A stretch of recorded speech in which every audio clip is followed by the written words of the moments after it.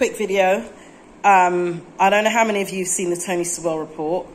Um, another waste of time, another waste of resources, and probably you've been paid for that, so another waste of money, another report that's going to sit on the shelf somewhere and have nothing done with it. You've literally chucked, thrown, burnt, beaten, kicked the black community under the bus. You've been disrespectful to our ancestors with your comment about the slave trade. I've found that highly disrespectful. And the part that is even worse and so embarrassing is the fact that those in the mainstream press are absolutely tearing this report apart. Because like I said in my posts on Facebook, this is embarrassing. And how is it that we have the white, wider community tearing this report to shreds. It is just absolutely vile, absolutely vile.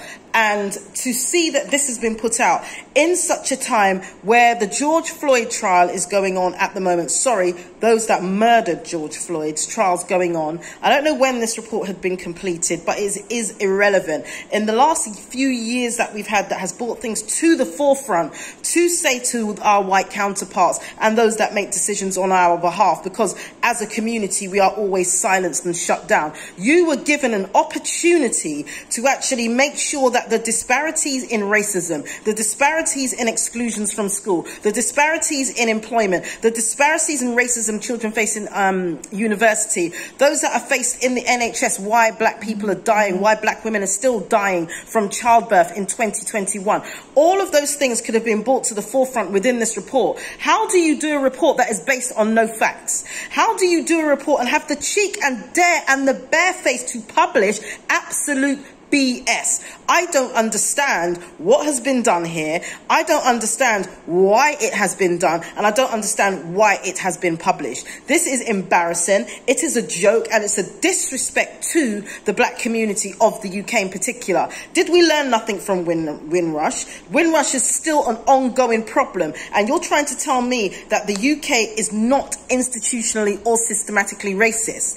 We see this in the police force. We see this in the NHS. Yes, nurses are doing a good job, but why is it that black women are dying doing something as standard as giving birth?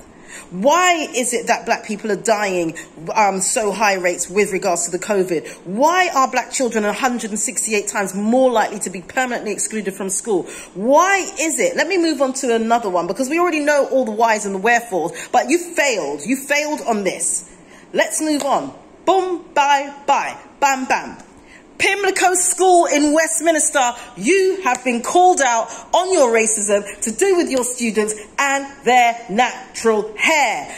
Mr. Smith, how does it feel? The fact that you have you've put a school policy in place that is racist. It is racist. And what I want to give thanks for, this is to all the students of that school that took part in the process. I don't know if it was this morning or yesterday Big up to yourself. 100% high five from Cheryl Phoenix, from the Black Child Agenda. This is what I'm talking about. Making a stance. Stop being a victim. Stand up, be counted. And to see white, black, Asian, hijabs, no hijabs, afros, sitting down, protesting about your basic and fundamental human rights to wear your hair to school as it grows out of your head. Thank you to you young people. And I give you nothing but applause and respect. I love it. Love it, love it, love it. I hear that some of the adults are coming down to the school. I would love to be there in person, but I can't be. But no matter what, you have the full support and backing from the Black Child Agenda